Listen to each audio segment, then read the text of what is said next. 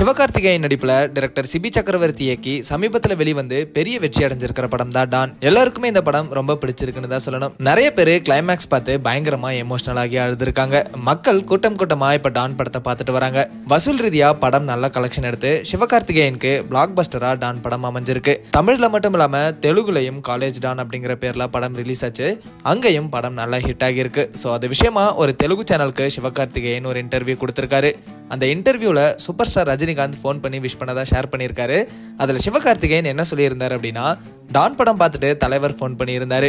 Phone பண்ணி super super fantastic நல்லா நடிச்சிருந்த கடைசி முப்பது நிமிஷம் என்னால் அழுகையை கட்டுப்படுத்தவே முடியல அப்படின்னு சிவகார்த்திகேயனை வாழ்த்தியிருக்காரு ரஜினி சார் அப்புறம் டிரெக்டர் சிபி சக்கரவர்த்தியும் விஷ் பண்ணியிருக்காரு. கண்டிப்பாக இந்த மூமெண்ட் சிவகார்த்திகேயனுக்கு ரொம்ப ஸ்பெஷலான ஒன்றுன்னு தான் சொல்லணும். டான் படம் வெற்றியை கொண்டாடுற விதமாக நேற்று மொத்த டீமும் கேக் கட் பண்ணி செலிப்ரேட் பண்ணியிருக்காங்க. அந்த பிக்ஸ் கூட சோஷியல் மீடியாவில் வைரல் ஆச்சு. டான் படத்துக்கு அப்புறம் சிவகார்த்திகேயன் இப்போ தெலுங்கு டிரெக்டர் அனுதீப் கூட ஒர்க் பண்ணிட்டு இருக்காரு. டிரெக்டர் ரவிக்குமார் எஸ்கே வச்சு எடுத்த அயலான் படமும் இந்த வருஷமே ரிலீஸ் ஆகிடும்னு சொல்றாங்க.